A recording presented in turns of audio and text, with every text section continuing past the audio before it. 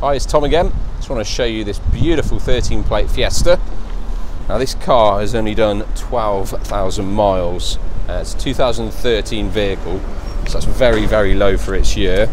It's actually got four stamps in the book, uh, all from Yeovil Ford, so that's, that's a main dealer service history. Um, paint is a metallic colour. I wouldn't call it brown. Some people call it brown. I call it bronze. It looks really striking, really different. Um, also got Bluetooth. It's got DAB radio as well uh, as well as a USB. Uh, this one, as I think I said already, is free road tax. Come and book a test drive today.